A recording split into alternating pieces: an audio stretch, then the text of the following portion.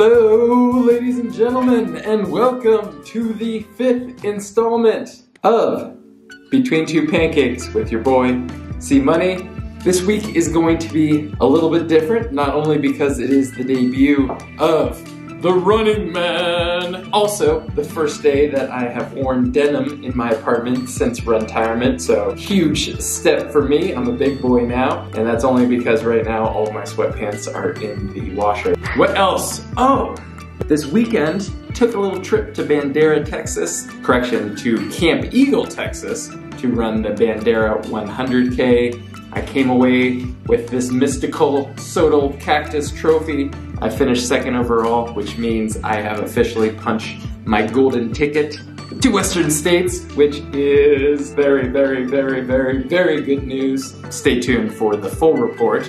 The plan for the next four months was all about getting this golden ticket. I was signed up for this race, for Black Canyon, Lake Sonoma, as well as the canyons, which are all golden ticket races where if you finish in the top two, top two, you are guaranteed an entry into Western States. I have that ticket now. Huge sigh of relief. I am going to be back at Western States this year. So that gives me a lot more flexibility in my training for the next couple of months. I no longer have to be tapered for all of these races. I do still plan to do all of them, but my build up to each race will be much different than I would have approached it if my top priority was finishing the top two. So at this point, we have January, February, March, April, May, most of June, almost six whole months until Western States which is a lot of time. I do not want to begin Western States training this week. Rather, I want to shift my attention for the next two months back to the roads for a couple of reasons. I want to work on my speed. I really want marathon PR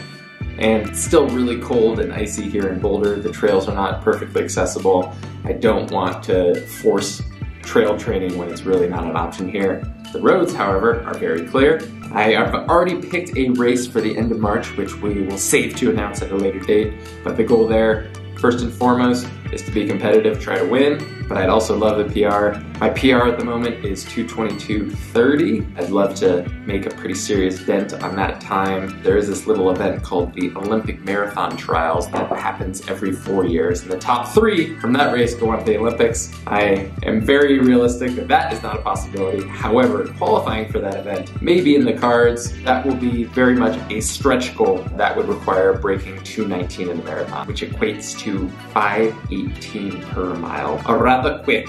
I know that every single time that I've had a personal best, it has been with the help of a coach, and one guy in particular got me in the fittest road racing shape of my life back in 2015. He happens to be one of my longest friend in terms of relationship, not in terms of body length. Although he is rather tall, he is a professional runner himself. He also does some coaching on the side. His name is Christo Landry. Hey guys, I'm Christo Landry. I'm a six-time national champion on the roads, the current 25K American record holder, and a four-time Team USA member. Christo Landry still in front.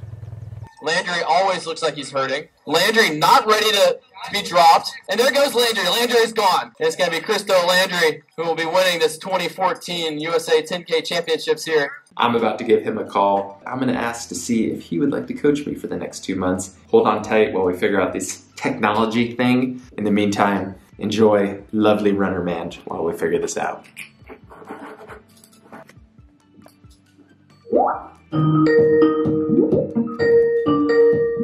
Oh, hey there. Hello. Hello. Can you hear me? All right. I hope it's recording. Stop recording. Boom, it's recording. Yeah! Dude, what do you think of this t-shirt?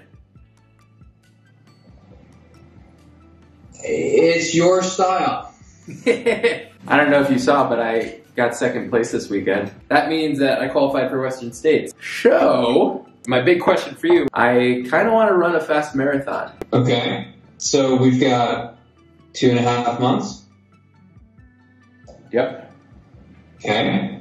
Okay, so we will make do with what we have. I don't know where your current fitness level is. If you're already in the middle of training, then that's going to help, obviously. I'm in this level of fitness. The skinniness of your arm, that's how you know how fit you are. I am like one inch away from being in, in race fitness. So, first question is Are you interested in taking on this challenge? I can help you with that, yes. Okay, fantastic. How realistic do you think 219 is? For you? I've got no clue what kind of shape you're in. I mean, you you haven't been working, so I would assume that means you've been doing more running. So you've got a bigger base, but you've been doing ultra stuff. So now we need to do faster stuff.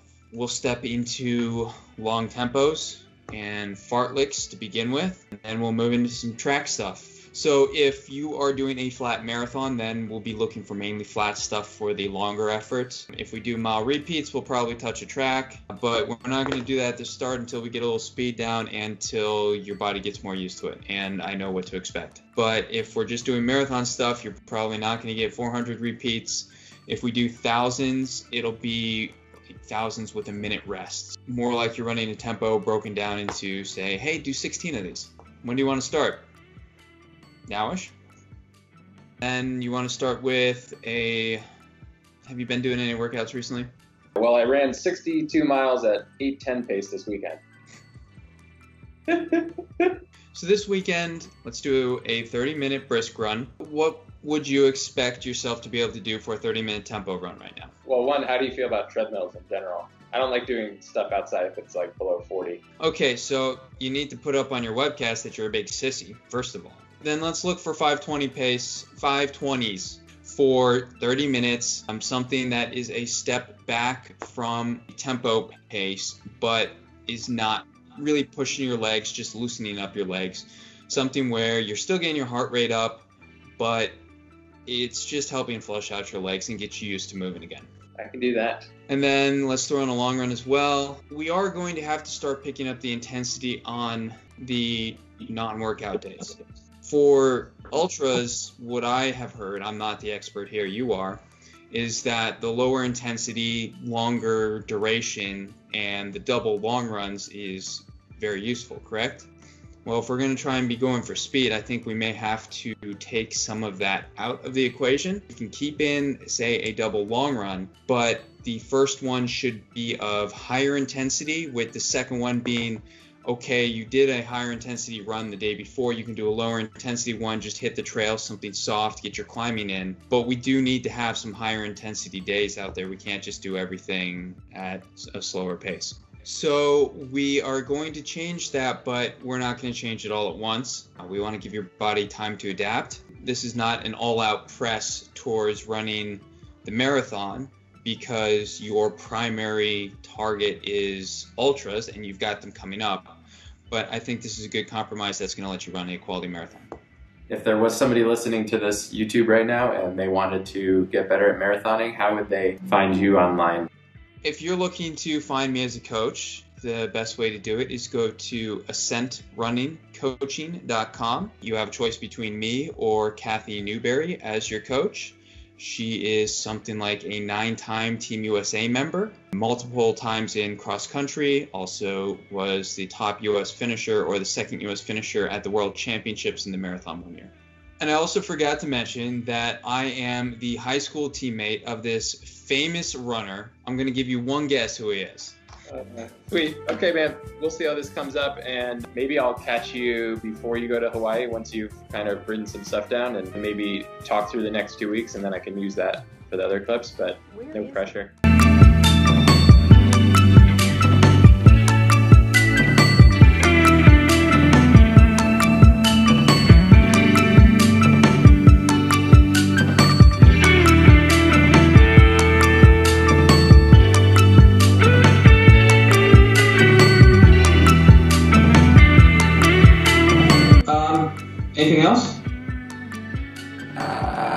A lovely shot right there. I can see that whatever that thing is bouncing up and down in the back of your foot. No, no, no, that's not a good angle.